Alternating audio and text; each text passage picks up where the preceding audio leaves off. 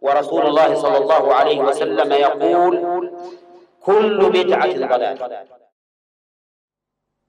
But it is the youth, my brothers and sisters. It is not the grey bearded ones, by and large. It is the youth that are caught by shahawat. And it is they who are caught by the shubahat because of their self confidence and their amazement with their own intellect and their amazement with themselves.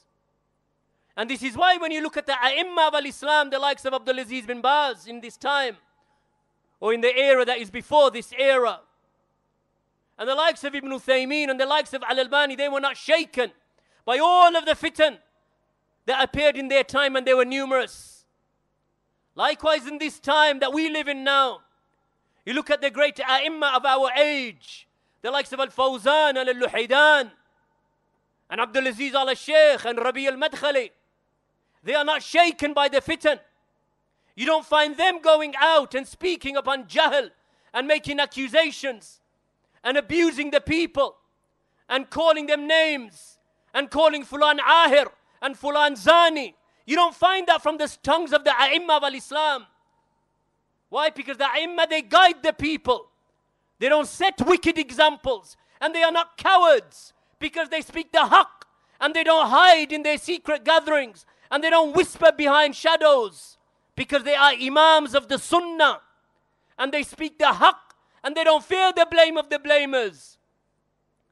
But it is the shabab, my brothers and sisters, when they see a mistake from someone and their love of that person and their ta'assub towards that person and their taqleed of that person and maybe they don't even know him and they didn't even sit with him but they will blindly follow because they are amazed with their own abilities.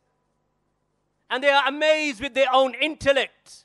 And they haven't learned from those who came before them because they don't learn because they are ignorant. And they don't have the ability to understand. And that is why just a few days ago when we sat with Sheikh Rabi' Sheikh Rabi' said make them understand Inform them and make them understand. Don't leave the haqq for your ta'assub to fulan and fulan. For your fanaticism for fulan and fulan that you don't even know in reality, but you think you know. Because you are so wise, huh? You are so wise and you are so old that you have realized the affairs of the dunya and you think you know. And that's why you have to whisper in the shadows and you don't come out and you don't talk you think you know. This is the downfall of the youth when he abandons the imams and he takes the people of falsehood as his leaders. So he will go astray. And we have seen over the decades how many people went astray because they are amazed with their own opinions. May Allah subhanahu wa ta'ala save us from this ta'ajjub, from this self amazement, and this idea that you know better and you abandon the Imams of the Sunnah. For what, my brothers and sisters? For what? Why do these shabab do this? Except that they are amazed with their own opinions. Wallahu al-musta'an.